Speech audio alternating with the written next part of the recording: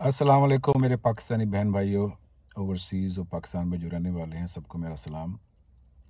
आज अप्रैल एलेवेंथ और 2022 आज टीवी पर ओवरसीज़ में बैठकर हमने एक चोर को प्राइम मिनिस्टर बनते देखा। बड़े अफसोस के साथ, बड़े दुख के साथ ये कहना पड़ रहा है कि चोर पाकिस्तान में फिर दाखिल हो चुके हैं। और उनकी हुकूमत दोबारा शुरू हो गई है। लूट खसोट का बाज़ार गर्म होगा और पाकिस्तान से पैसा फिर गायब हो जाएगा और हमारा पाकिस्तान दोबारा उसी तरह गरीब का गरीब रहेगा। मेरे पाकिस्तानी बहन भाइयों, मैं आपसे पूछता हूँ कि क्या हो रहा है? हम चोरों को दोबारा चांस देते हैं। हर पाँच साल के बाद वही चोर दोबारा हुकूमत में आ जाते हैं। क्या हमारा ज़मीर हमें गवारा करता है कि हम उनको दोबारा बार बार वोट दें और उनको दोबारा दोबारा बार बार इलेक्ट करें। मैं ओवरसीज़ में रहते हुए मुझे यहाँ के कानून, कायदे का इतना हमें प्राउड होते हैं कि भाई, जो इस्लाम में जो चीज़ें लिखी हैं, वो यहाँ इस कंट्री में बताई जाती हैं, की जाती हैं, इंसाफ किया जाता है, सब कुछ किया जाता है।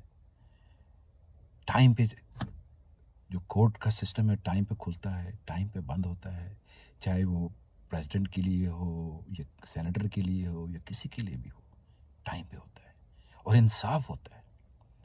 लेकिन पाकिस्तान में अदालतें रात को 12 बजे चोरों के लिए खुल जाती हैं।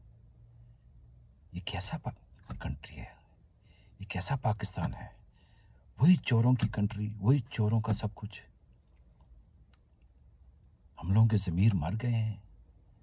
हम लोग कैसे इन लोगों को बार बार इलेक्ट करके सामने लाते हैं? जिन पे करोड़ों अरबों के केसेस हैं, उनके लिए अदालतें कहाँ हैं? क्या उनके लिए अदालतें फैसला नहीं करती? ऐसे लोग अगर इस कंट्री में जहाँ मैं रहता हूँ, इनका चार दिन में इनका फैसला हो जाएगा और ये जेल के में जाएँगे। और कब के जेल में जा चुके होते हैं और कोई सोच भी नहीं सकता कि ऐसे लोग इलेक्ट होके बड़े बड़े अहदों पे या मिनिस्टर या प्राइम मिनिस्टर या प्रेसिडेंट बन सकें। कोई सोच भी नहीं सकता यहाँ बैठ के। इसका मतलब हुआ कि, कि जो डाकू चोर पाकिस्तान में हैं जो जेलों में बैठे हैं उनको रिहा किया जाए। उनको भी चांस दिया जाए कि वो भी प्रेसिडेंट और प्राइम मिनिस्टर बन सकें। उनका भी चांस उनको क्यों नहीं देते? उनको भी कोर्ट जेलों से रहा करें, उनके केस डिसमिस करके उनको दें चांस। उनका भी हक है कि वो भी इलेक्शन लड़ें। अगर ये लोग इलेक्शन लड़ सकते हैं, ये प्राइम मिनिस्टर बन सकते हैं तो बाकी मेरा बेचारा जो गरीब एक भैंस की चोरी के अंदर जेल में बैठा हुआ है तो उसको क्यों नहीं चांस दिया जाता? उसको भी चांस दें भाई। उसका भी दिमाग है, दिल है। अगर उसने एक भैंस की चोरी गलती से कर दी बेचारे ने। उसको दो दो साल के लिए जेल में डाला। और उसको मेरा गारंटी यू दैट कि वो उसको तो जेल में डाल, उसका तो केस तीन दिन के अंदर उन्होंने डिसमिस कर, उसको करके उसको जेल में डाल दिया। और जिनके करोड़ों के करोड़ों के केस हैं, उनके पाँच पाँच साल दस दस साल से उनके केस चल रहे हैं और हमारी अदालतें कुछ नहीं कहती। उनको प्राइम मिनिस्टर बना देती हैं। किसी को प्रेसिडेंट बना देती है, किसी को मिनिस्टर बना देती है। ये कैसा इंसाफ है?